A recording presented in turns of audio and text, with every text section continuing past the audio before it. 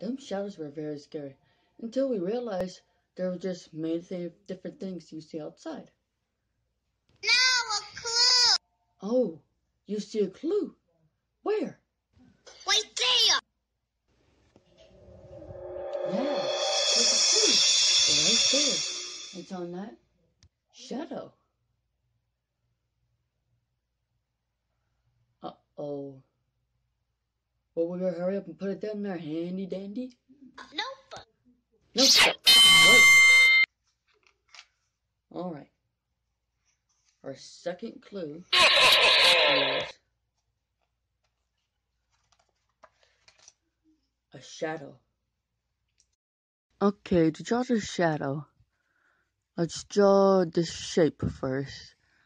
And then sort of the wings, I guess. And then more down up here. And there. That's our shadow.